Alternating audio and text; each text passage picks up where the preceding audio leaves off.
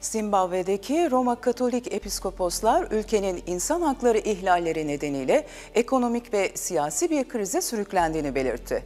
Hükümet ise episkoposları soykırımı teşvik etmeye çalışmakla suçladı. Zimbabwe'de bulunan Katolik kiliselerinde okunan bir bildiride episkoposlar, Zimbabwe'nin ekonomik çöküş, derinleşen yoksulluk, gıda güvensizliği, yolsuzluk ve insan hakları ihlalleri nedeniyle çok katmanlı bir krizde olduğunu bildirdi. Zimbabwe'deki Roma Katolik Episkoposlar, ülkenin insan hakları ihlalleri nedeniyle ekonomik ve siyasi bir krize sürüklendiğini iddia etti.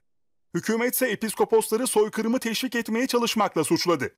Geçtiğimiz haftalarda hükümeti eleştirdiği gerekçesiyle çok sayıda kişi tutuklanırken bazılarının ise kaçırıldığı ve işkenceye maruz kaldığı iddia edildi.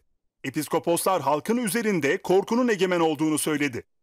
Enformasyon Bakanı Monika Mutvanva'nın episkoposları suçlamasının ardından Devlet Başkanı Emerson Manangavi'nin hükümeti hızlı bir açıklama yaptı. Devlet tarafından işletilen Sunday Mail gazetesinde Başepiskopos Robert Christopher Enlovu'nun Zimbabwe Katolik cemaatini Ruanda tipi soykırımın en karanlık zindanlarına götürmeye çalıştığını ve ülkeyi iç savaşa sürüklediğini yazdı. Ve Enlovu, rejim değişikliği gündeminin baş rahibi olarak adlandırıldı.